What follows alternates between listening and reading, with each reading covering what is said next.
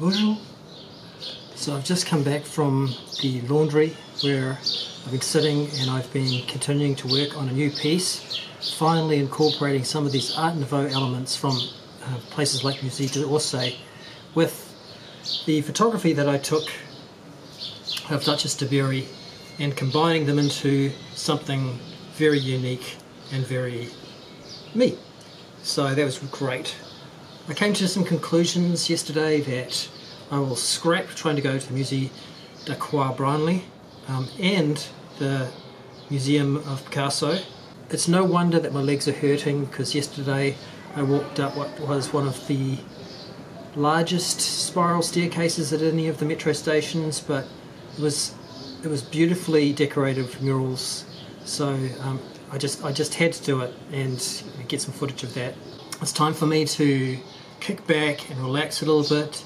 Tomorrow is life drawing. I'm still going to go to Espace Dali because that's in Montmartre. But the great thing about Montmartre is, as I've discovered, is it's full of these beautiful cafes and restaurants.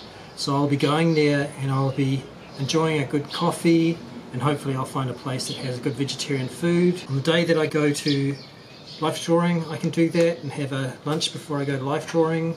On the day that I go to the Dali Museum, I can again do that, kick back and enjoy it. I can take my drawing pad, I don't have to worry about security guards and um, the anxiety of crowds. It's a very small museum, so it'll be easy for me to quickly get through it and then get back to enjoying a, a little vacation. Again, I can do the same thing. I can go out, maybe have dinner in Montmartre and maybe a few drinks, a few wines before I go to the Moulin Rouge. So yes, as I was sitting at the laundry, um, I, was ch- I chatted to a young French gentleman. Um, he asked me, uh, "Do I do art for business or for pleasure?" And I couldn't give him a clear answer. As of yet, do not consider myself even to be an artist.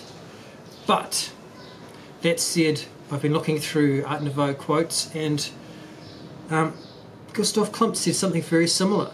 This is the quote by Gustav Klimt I can paint and draw. I believe this myself, and a few other people say that they believe this too. But I'm not certain to whether it's true. So I'm not the only artist in history who either does not consider himself an artist or does not consider himself to have much skill.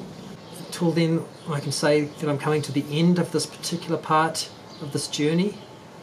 But it's really, this is just the beginning of the Art Nouveau Manifesto.